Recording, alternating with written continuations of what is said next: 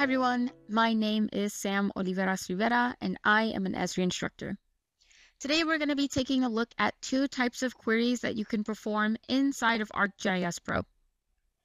These queries allow you to select or display data that meet your specific criteria. We have selection queries and definition queries. There are two types of selection queries, attribute queries and spatial queries.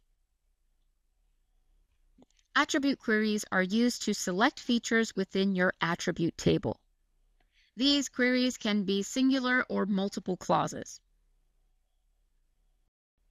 Spatial queries are used to select data based off of their spatial relationship to other layers.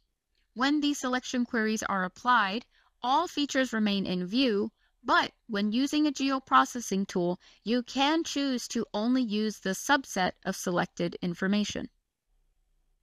Definition queries are different in that they do impact what we see without having to delete anything. This works really well when you have busy data and would like to filter your view based off of a specific criteria. Like selection queries, you can choose to process this subset of information in your geoprocessing tools. Let's see the differences between these queries inside of ArcGIS Pro. Let's start with an attribute query. Taking a look at the attribute table of my soils layer, we can see that we have over 1,000 records. Using my Select by Attributes tool, I can build out a query to only select the information that I'm interested in, so in this case, we're going to look at our soil symbol and only select those that meet my criteria. And we can see inside of our attribute table, those records that meet my criteria have been selected, but also inside of my map view. Same thing applies with the spatial query. In this map, we are viewing two layers, urban areas and our soils layer.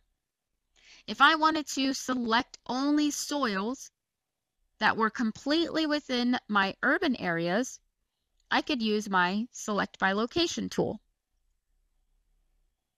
From here, I can choose to select soils that are completely within urban areas.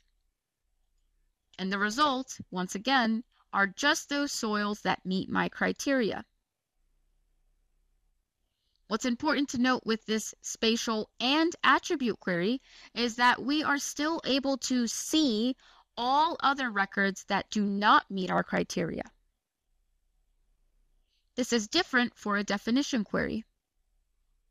Let's say I'm a little bit overwhelmed by all of the colors inside of my soils layer.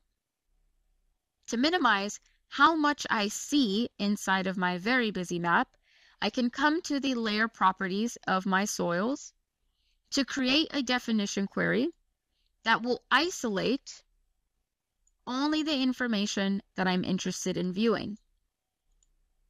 Once I hit OK, you can see that only those records that meet our criteria are visible inside of our map and our attribute table. The key difference between these queries is that definition queries impact what we see on our map.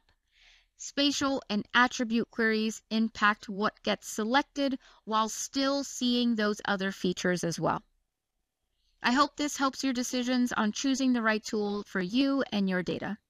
Thanks for learning with me.